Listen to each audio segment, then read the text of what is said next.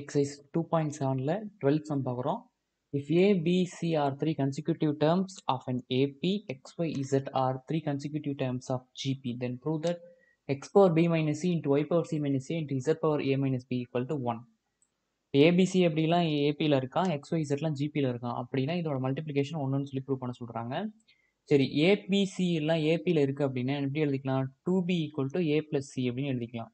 யா ஏபியில் இருந்தால் அதாவது ஏபியை பொறுத்த வரைக்கும் two times term two equal to term one plus term three அப்படி எழுதிக்கலாம். சரியா? இதுவே ஜிபியாக இருந்துச்சுன்னா எப்படி எழுதிக்கலாம்னா term two square equal to term one into term த்ரீன்னு எழுதிக்கலாம். இது யாருன்னா? ஜிபி இது யாருன்னா? ஏபி சரியா?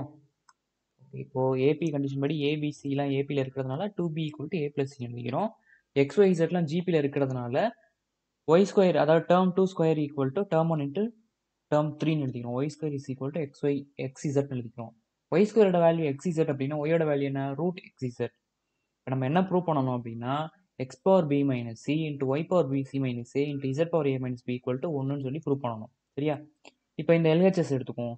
எல்ஹெச்எஸ் என்ன? X power b minus c into y power c minus a into z power a minus b equal to இங்கே ஒய்க்கு பதிலாக என்ன ரீப்ளேஸ் பண்ண போகிறோம்னா ரூட் எக்ஸ் இசட்டை ரீப்ளேஸ் பண்ணுறோம் சரியா? அடுத்த ஸ்டெப்பில் இந்த ரூட் ஆஃப் எக்ஸ் இசட் எப்படி எழுதிக்கலாம். ஹோல் பவர் ஒன் பை டூன்னு எழுதிக்கலாமா? So whole power one by two c minus சின்னு எழுதிக்கிறோம். அதாவது c minus a divide by டூன்னு எழுதிக்கிறோம். ஸோ அடுத்த ஸ்டெப்பில் என்ன பண்ணுறோம்னா இந்த எக்ஸுக்கு தனியாக power c minus a by two கொடுக்குறோம். இசட்டுக்கு தனியாக சி மைனஸ் ஏ பை டூவை தனித்தனியாக பிரித்து கொடுத்துட்றோம் ஸோ இப்போ பார்த்தீங்கன்னா இங்கேயும் பேஸ் எக்ஸ் இருக்குது இங்கேயும் பேஸ் இருக்குது ஸோ பேஸ் எக்ஸ் இருக்கிறனால பவர் ஆட் பண்ணிக்கலாமா? அதே மாதிரி இங்கே பேஸ் இசட் இருக்குது இங்கேயும் பேஸ் இசட் இருக்குது பேஸ் இசட்டில் இருக்கிறனால பவர் ஆட் பண்ணிக்கலாமா? ஸோ இங்கே பவரில் பேஸ் எக்ஸ் போட்டுக்கிட்டு பவரில் பி மைனஸ் சி ப்ளஸ் இங்கே இருக்க c minus a by two add பண்ணிக்கிறோம். அதுமாரி கீழே இருக்க இங்கே இசட்டு மேலே என்ன இருக்குது சி மைனஸ் ஏ பை டூவை ப்ளஸ் ஏ மைனஸ் பியை ஆட் பண்ணிக்கிறோம். இப்போ இந்த டேர்முக்கு மட்டும் எல்சியம் எடுக்கணும். சரியா? இந்த டேர்முக்கு எல்சியம் எடுத்தால் என்ன வரும்? Two B minus two C plus C minus A LCM எடுத்தோம்னா அதே மாதிரி இந்த டேர்முக்கு எல்சியம் எடுத்தால் என்ன வரும்? Two a minus two b plus c minus ஏன்னு சொல்லிட்டு வரும். சரியா? இப்போ பார்த்தீங்கன்னா டூ பி அப்படியே எழுதிக்கோங்க. Minus two c plus c என்ன வரும்? Minus c minus a z power இங்கே என்ன வரும்? சி டூ ஏல ஏ போச்சுன்னா plus a minus two b by டூன்னு வரும். இப்போது இந்த ரெண்டு டேர்மில் இருந்து மைனஸை காமனாக வெளியே எடுத்துடலாமா? வெளியே எடுத்தோம்னா ஏ ப்ளஸ் சின்னு எழுதிக்கலாமா?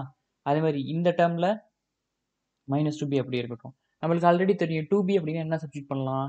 ஏ ப்ளஸ் சின்னு பண்ணலாம். ஏ ப்ளஸ் சின்னு பார்த்தாலும் டூ பி பண்ணலாம் ஸோ இங்கே ஏ ப்ளஸ் சிக்கு பதிலாக டூ பி சப்ஸ்டியூட் பண்ண போகிறோம் அப்போ x power two b minus two b divide by two c power c plus ஏக்கு என்ன போடலாம்? டூ பி போடலாமா? So two b minus two b divide by two two பியில் டூ பி போனால் zero zero divide by two zero அதே மாதிரி இங்கே two b minus two b zero zero divide by two zero என்ன வரும்னா x power zero z power zero வரும். anything power power zero என்ன? One இப்போ ஒன் இன்ட்டு ஒன் ஒன் தான்.